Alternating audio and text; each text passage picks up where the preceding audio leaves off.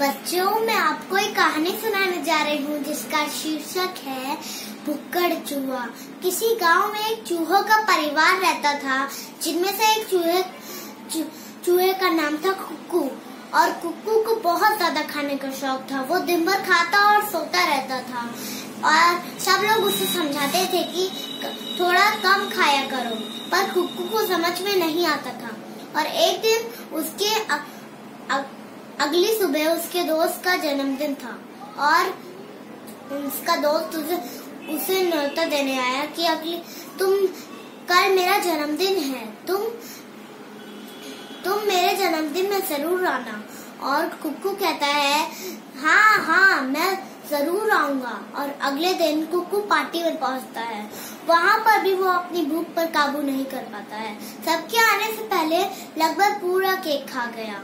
और सब और सब चूहे उसके, उसे कहते हैं, तुमने हमारे लिए कुछ नहीं छोड़ा।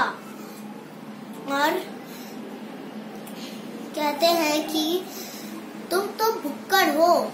कुक्कू उदास होकर अपने घर को वापस निकल जाता है। पर उन सब के ऐसा होने से तब भी कुक्कू पर कोई असर नहीं पड़ता।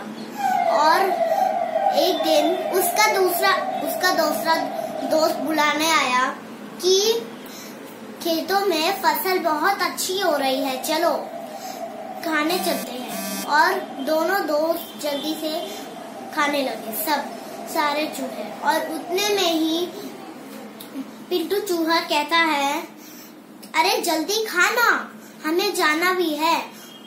और कुक्कू कहता है कि एक बार पेट भरकर खाने दे। उस एक बार और फिर एक बार लंबी सी डकार लेने दे फिर चलेंगे। और उतने में ही बिल्ली आ गई। और बिल्ली स, और फिर सभी चूल्हों चूहों में भाग दौड़ मच गई। और कुक्कू बहुत धीरे धीरे चल रहा था क्योंकि इतना खाने की वजह से उसका पेट एकदम भारी हो गया था और वो चल भी नहीं और वो चल नहीं पा रहा था। इतने में ही कुक्कू का पैर अटक गया और बिल्ली धीरे धीरे उसके पास आने लगी और उतने में ही कुक्कू का पैर निकल गया। कुक्कू जैसे तैसे लंगड़ा लंगड़ा के भागने लगा और उतनी में ही उसका घर आ गया और फिर कुक्कू धीरे धीरे चलने लगा। जैसे ही वो घर के अंदर घुसने लगा तुरंत उसका, उसकी गर्दन दरवाजे में ही अटक गई क्योंकि खा खा कर उसका पेट इतना मोटा हो गया था। उसका पेट इतना मोटा हो गया था कि वो घर के अंदर भी नहीं घुस पा रहा था। सभी चूहे उसे अंदर से खींचने लगे और बाहर से बिल्ली उसकी पूछ खींच रही थी। कुक्कू चिल्लाने लगा, पर बिल्ली ने उसकी पूछ नहीं छोड़ी। आखिर में उसकी पूछ ही टूट गई और बिल्ली धड़ाम से पीछे गिर गई। बिल्ली धड़ाम से पीछे गिर गई। सभी चूहों ने जैसे जैसे चूहे को, कुकू को अंदर खींच लिया।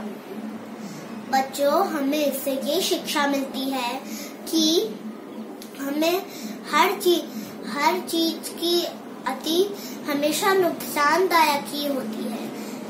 दोस्तों, आपको मेरी कविता कैसी लगी? कमेंट बॉक्स में बताइए और